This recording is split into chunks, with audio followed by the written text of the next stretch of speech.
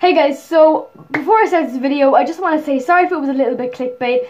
I just kind of want everyone on the channel to see this, or every active subscriber at least. Before we jump to the conclusions, yes, I was actually thinking about starting a new channel, and um, yeah, that wasn't clickbait.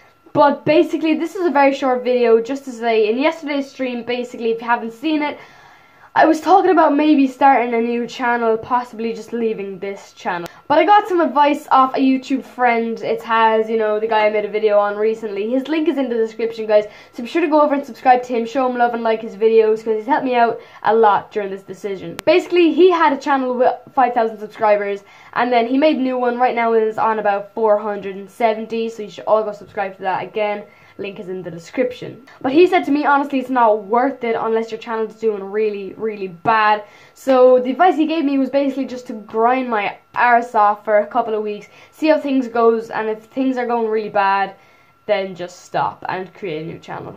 So basically guys, I don't know, I'm just going to take that advice. I'm going to make really good videos and I'm just going to make the best videos that I possibly can. I'm going to make some, I'm going to experiment with new types of content, maybe a, small bit of gaming, like a little bit like Fortnite videos here and there, not all over the place, um, and just different things. And if there's any videos you guys want to want to see, then let me know in the description. So guys, I'm gonna upload tomorrow. I'm gonna go on the grind, like I said.